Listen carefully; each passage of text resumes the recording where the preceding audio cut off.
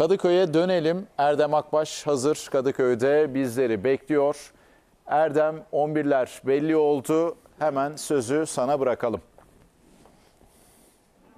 Ömer Saraç iyi yayınlar Süper Lig'in 29. haftasında Fenerbahçe Pendik Spor'u konuk edecek. Mücadele öncesi ilk 11'ler belli oldu. Direkt ev sahibi takım Fenerbahçe ile başlayalım. Kalede Livakovic, sağ kanatta Mert Müldür, stoperde Serdar Osterwolde, sol bekte Ferdi'yi göreceğiz. Dörtlü savunmanın önünde Kurunic Fred ikilisi oynayacak. Sağ kanatta Cengiz Ünder 10 numara pozisyonda birazcık daha ofansif orta saha pozisyonda Mert Hakan. Sol kanatta Tadic. ileri uçta ise Edin Dzeko'yu göreceğiz. Pendik Spor'un 11'ini de paylaşalım.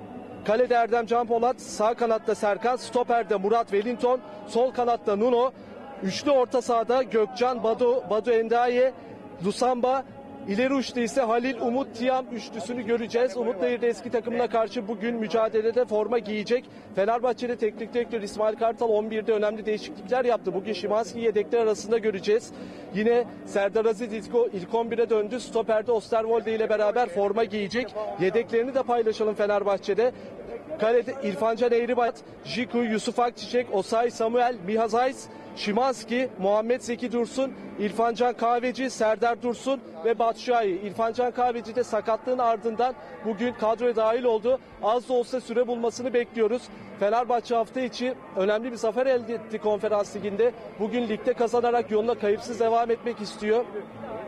Teknik direktör İsmail Kartal sadece bir antrenmanla takımını maça hazırladı ve dün akşam 1-11 denememişti. Hafif bir antrenmanla Fenerbahçe mücadeleye hazırlandı. İsmail Kartal'ın 11'de ufak değişikliklerini gördük. Fenerbahçe Pendik Spor maçını kazanıp hafta içi konferans ligi rövanşı ve hafta sonunda Trabzonspor'la oynayacağı maçlara odaklanmak istiyor. Kadıköy'den aktaracaklarımız şimdilik bu kadar. Mücadelenin ardından yine biz gelişmeleri vermeye devam edeceğiz. Ömer Saraç. Erdem Akbaş çok teşekkürler. İlk 11'ler belli oldu Kadıköy'de ve biz de maç artık ilk 11'ler üzerinden konuşmaya başlayalım. Tabii e, Abdullah Hocam bayağı bir değişiklik var Fenerbahçe 11'inde. E, Mert başlıyor, Osay kulübede. Yokluğunda e, Fred'in, e, pardon Fred'in diyorum, İsmail'in. e, İsmail'in, İsmail kart cezası. Kurunic, Fred ikilisi var. Önde Mert Hakan var, Şimanski yedek kulübesinde. Ee, onun dışında Osayi dediğim gibi e, kulübede yani e, biraz kadroyu değiştiriyor İsmail Hoca. Tandemde de Serdar'la Osterwolde oynayacak ki Beko Çağlar'ın zaten sakatlığı Batshuayi vardı. Ee. Batshuayi yine kulübede. Ciku da kulübede. Biraz e, beklentilerin dışında bir 11 İsmail 2-3 Hoca'da. tane değişik oyuncu var. Mesela biz Ciko'yu bekliyorduk. Ee, Şimanski, e, Şimanski devam eder diye düşünüyorduk ama e, Ömer şöyle bir gerçek var. Perşembe günü hakikaten bazı oyuncular çok yıprandı. Yine söyleyebilirim. İsmail ki cezalı oynamıyor. Ki bence hocam cezalı olmasa da bugün kulübede başlardı diye düşünüyorum. Öyle bir mücadelenin Başlaması ardından. lazımdı. Yani o gün maçı seyrettiğimizde Evet, evet. özellikle top rakipteyken müthiş bir performans. Şivanski'nin uzun haftalardan beri hep son maçta da keza bayağı ciddi müdahaleleri vardı. Ben hocanın biraz daha dinlek oyuncularla oyna. Mert Müldür bunlara bir örnek. Çünkü o sayede geldi, oynadı. Şimdi biraz daha dinlek oyuncularla en azından başlamasını çok doğru buluyorum. Çünkü Serdar'ı kullanmıyordu. Bu sefer Serdar Osterwolde'yi kullanacak ikili ama burada şu sıkıntı yaratır mı onu hep beraber göreceğiz. Bir uyum sorunu yaşar mı özellikle tandemde? Gerçi daha önce herhalde bir veya iki kere oynamışlığı var. Ee, Mert Hakan'ın Şimanski'nin pozisyonunda göstereceği performans önemli. Hamle olarak da Fenerbahçe'nin güç e, e, kulübesi şu anda ciddi, güçlü. Ya, yani hamle demeyelim de yani birisi sallandığı zaman kenardan gelecek isimleri de mevcut. Tabii tabii. Ciku, Çok ciddi. İrfancan, Şimanski, Batshuayi çok da iyi bir İrfan'ı mesela bir an önce sahanın içine sokmak lazım.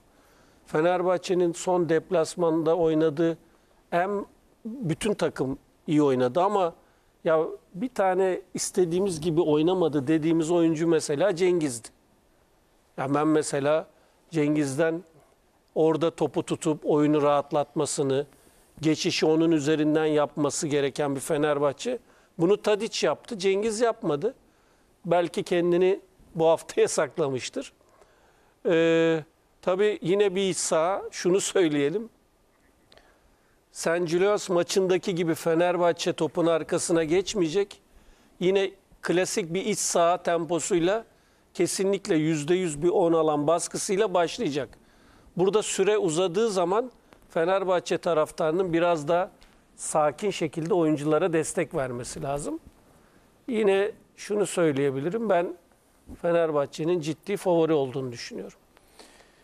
Nedim Hocam siz e, 11'i nasıl buldunuz? Gerçekten dediğim gibi değişiklikler Aslında var. 6 tane ilk 11'den değişiklik var.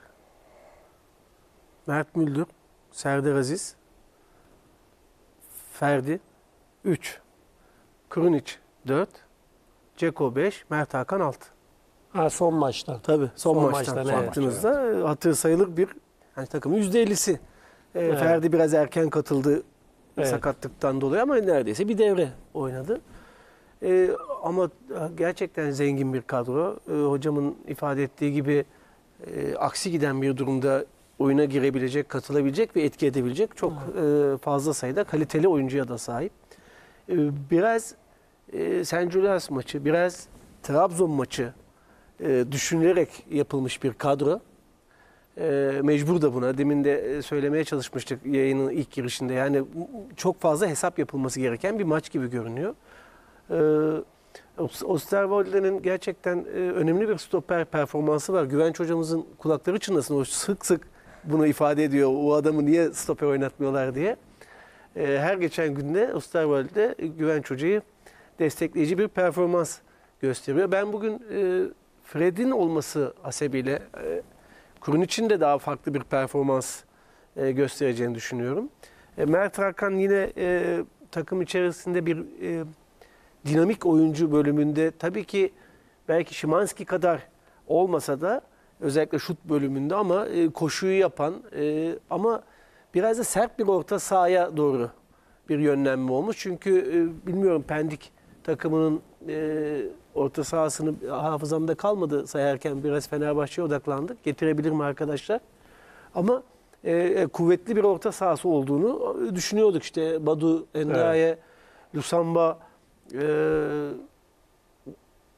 bir, bir isim daha vardı. Gökçen oynuyor. Gökçen, oynuyor. Gökçen de çok koşan eden özellikle hani Mitsu yok bu, bugün. Şey o yok, cezalı, sonra Alparslan Pendik cezalı. Spor'un 11'inde vereceğiz. Ee, Yani e, çok e, kuvvetli bir, e, dirençli bir orta saha var aslında şu an orada. E, Fred'in tabii oynamasını bekliyorduk çünkü maç eksiğini bir şekilde oyunla da e, kapatacaktır.